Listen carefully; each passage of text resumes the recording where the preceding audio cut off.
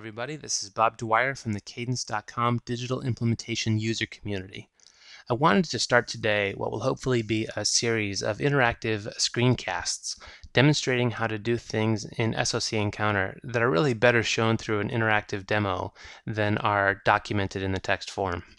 So what I wanted to start off with was first, how do I make edits to a group of objects in a design all at once?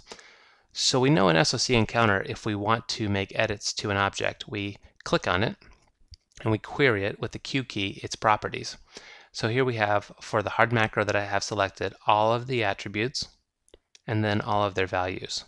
So say, for example, I wanted to change the placement status of the hard macro I have selected from placed to fixed.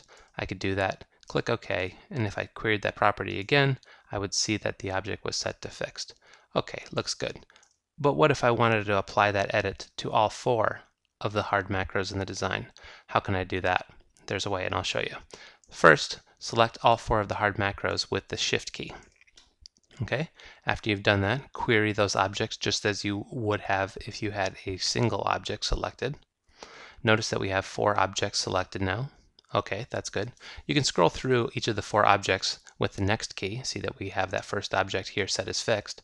But there's also a way to edit the placement status or any other common attribute across all of the currently selected objects. Down here in the bottom we see this grayed out apply all button.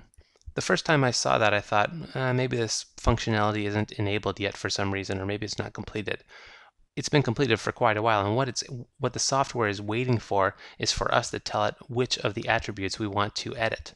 Here's the trick. Come over here to an attribute off on the left and click it and notice that the whole line becomes uh, highlighted in blue.